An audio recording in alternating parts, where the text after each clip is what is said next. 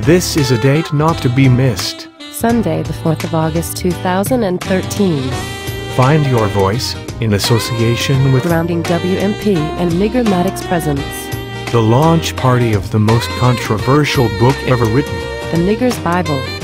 with performances by Lion and Biggie D, Digo Number 1 and Jam Masters. Special guest speakers, Brother Knox. ASR Michael, Neil Van Cooten and Airen Richards. This event is sponsored by Future Cut Barbers.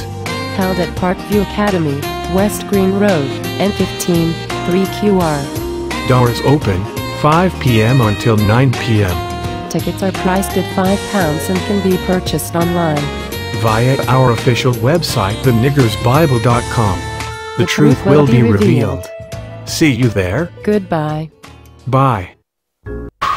Jamaica's music legend, John Holt.